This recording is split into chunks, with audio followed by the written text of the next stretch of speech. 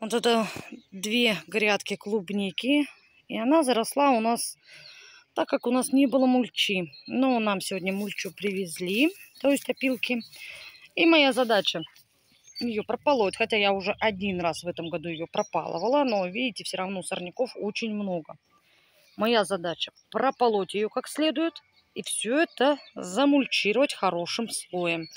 Чтобы сорняки не росли, да и ягодка будет чистая, лежать не на земле.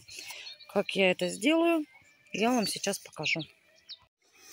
То есть вот смотрите, было, да, да, только что вам показал.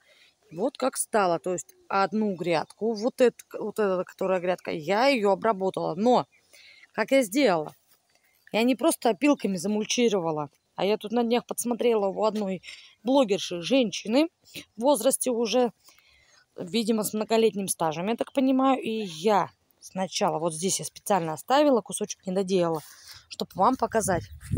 Я намочила картон. Вот он сырой. Из него чего хочешь можно делать. Вон он. То есть, и вот я кусочки отрывала. И вот я обделывала вот так вот кустики. Это вот лук, который остался с прошлого года. Я его видимо, в прошлом году не заметила, не выкопала. Он так и остался, я не стала его вырубать. Пусть растет. Э, буду на зеленуху срывать перышки. Ну, так-то я уже начала. Ну, ладно. И то есть и сверху после вот этого картона я начала уже засыпать опилками. Вот на эту всю грядку у меня ушло ровно два мешка. Ровно два мешка опилок. Потом уже опилки влажные. Это вот еще кусочек я не доделала. Опилки влажные.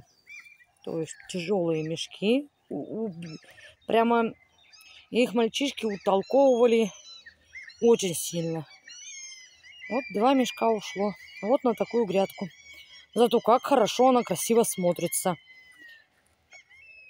Мне так очень нравится. Я довольна. Все, теперь можно ставить дуги маленькие и сетку покрывать, чтобы птицы не схомячили.